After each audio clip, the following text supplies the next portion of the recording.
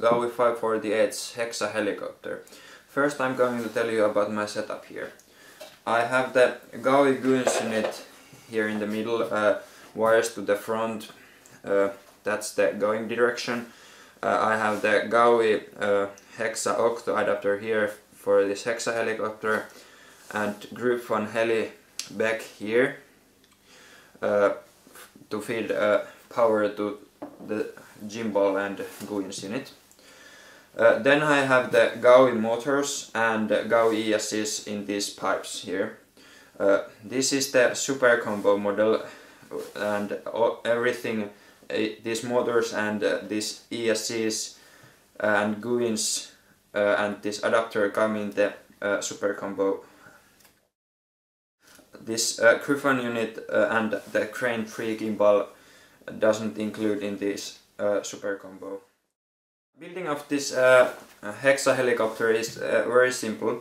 Only thing you have to do uh, is follow the manual and uh, that's it because uh, every pouch you have is labeled and numbered and in the manual there's number of pouch you have to take and every the screws are on their own pouches so and the pouches of screws are labeled as well uh, so it's very easy to build. I think it's easiest helicopter I have ever ever built uh, because everything is so easy to follow and manual is clear and pouches are labeled and numbered and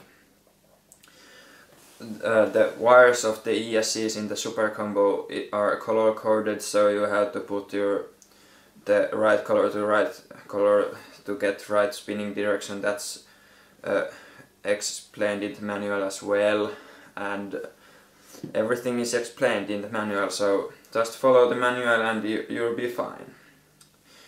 Next the GU-INS unit. The GU-INS unit is uh, very easy to set up. I only looked in the wires and went to fly and everything worked well. Just uh, made uh, a airplane model to the uh, uh, transmitter and that's it. Just uh, make the switches for the GU-INS, uh, the normal mode, stabilization mode and GPS mode and return home function and I have the gimbal so that's need to be set up too. Everything is explained in the GU-INS manual. There are instructions for fine-tuning of the system but I think you don't have to do this if you do everything as the manual says. Uh, and the GU-INS will work uh, very well uh, without any fine tuning. Uh, just uh, make sure you have switched here the hexa mode and the X or plus mode, whatever you want. But if you use the gimbal, I think you have to use the X mode, it, so it will be facing uh, to the front. The tools you have to use, you need uh, one and a half, mit half millimeter hexa tool, uh, two millimeter hexa tool, uh, 11 millimeter nut wrench for the spinners, and some kind of pliers are good for these uh, things in the middle of the frame to hold on and I think that's it. You don't need anything special. Ah, pliers for these if you use the gimbal. Next some things I want to say about this heli. First up is the canopy here. Uh, I personally don't like it because you have to cut these holes here your own self and that kind of thing but the mounting is the biggest problem I think uh, because there are four normal uh, and three uh, 5 millimeter long bolts and I think you're going to lose them. Uh, I don't know why they didn't use thumb screws or something like that because it would be so much easier to mount this canopy and take it off but now it's kind of slow and take some time and uh, don't lose those bolts and uh, there are no extra bolts coming with this kit so don't lose things or you're not going to get this done and fly because no extra bolts are supplied so be careful not losing those. Next there are these folding arms. Uh, these four arms fold to the middle. Uh, you have to uh, loosen up these four screws here to get it done. Uh, but, and it's uh, quite good thing because you can put this so much tinier places if you fold these arms if you have a small car or something. So it's good thing. Uh, next is the battery place. Uh, if you have this Gaui crane gimbals the battery place is uh, very small because of this thing uh, you can't use 4S batteries uh, and you have to make sure your batteries fit here. It's very hard to take them out because the velcro strap holds on so good and you can't push it down so you have to do the like this to get it out. Uh, and uh, next the GPS module, make sure it's as far as away from all the uh, ESCs and battery wires and stuff to uh, make sure it works uh, properly because the electromagnetic field uh, can confuse the module and it will drift and stuff if you don't do so. And if you use the ESCs from these, the BECs from these ESCs, make sure you use only one. Take uh, all the five other fire wires, plus wires off, uh, so they won't burn each other. And if you use a Gaui Crane 2 or Crane 3 uh, or any other gimbal, uh, use uh, different BEC, not this uh, ESC's BEC, because it you will burn your uh, BEC of these ESCs because they're so small. And uh, this crane 3 gimbal won't even work if you use this. It will be so jittery and uh, servos will lag and it will don't it will don't won't be smooth. I think there's one good thing to do. Uh, draw here uh, arrow to direction uh, the is where's the front because uh, when you put this down you have uh, if you don't have the gimbal you don't know which direction is the front.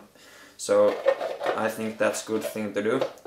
Uh, also when I built this I labeled these arms like this one two three four five six because you have to put uh, these arms when you assemble this uh, in the right place to get the right spinning direction and uh, to be able to fit them here.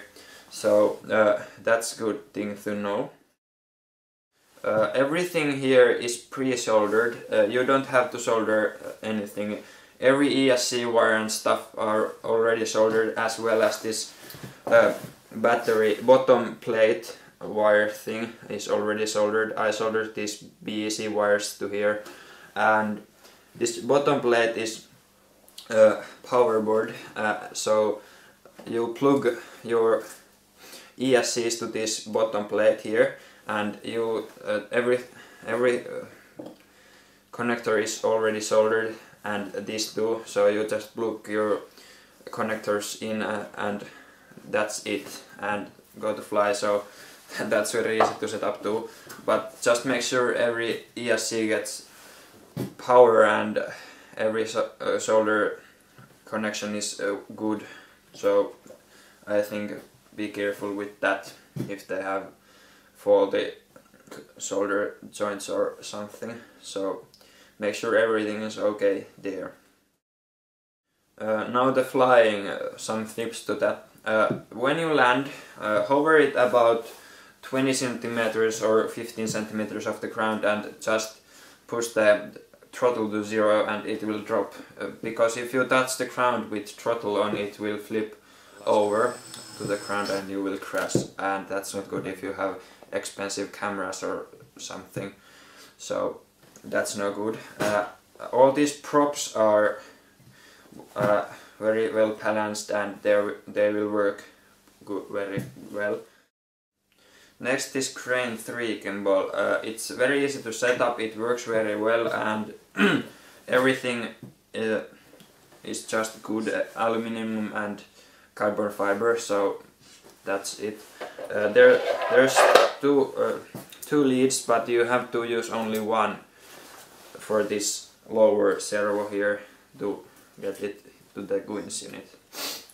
Uh, and you need your own wire for the tilt movement of the, your crane if you want to use that. Everything comes with this uh, Crane 3 gimbal to mount your camera. Uh, the servo arms comes here as well as the screw to mount your camera on the on bottom plate of the Crane 3 here. And there are many holes to get the right CGY for the camera so that's good too. And uh, uh, Crane 3 and 2 which oh, here to the bottom plate of the uh, 540H you don't have to use these adapters which are for 500X.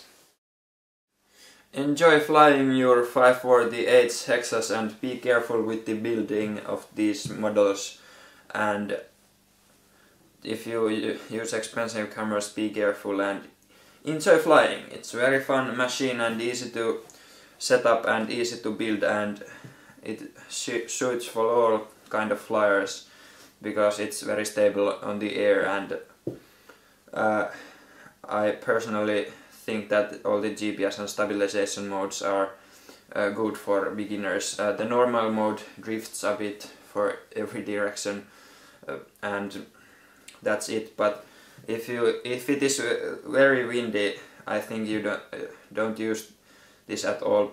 And if you use use only stabilization and normal modes because the barometer of this GU-INS unit uh, will be confused with the air flowing so fast in under the canopy and it will jump up and down in the air and that's not good and I think you're going to crash it. So and when you're using the GPS mode make sure to use the canopy and put the GPS module as far as away from the all the electronics as you can. So goodbye